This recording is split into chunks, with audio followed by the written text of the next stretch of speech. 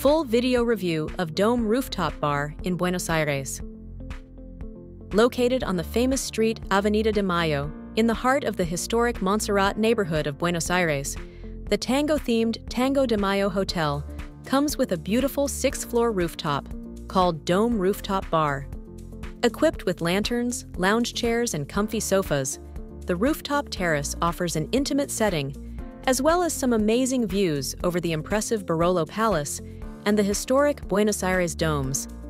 Up here, you can indulge in a menu offering a wide and fine selection of cocktails,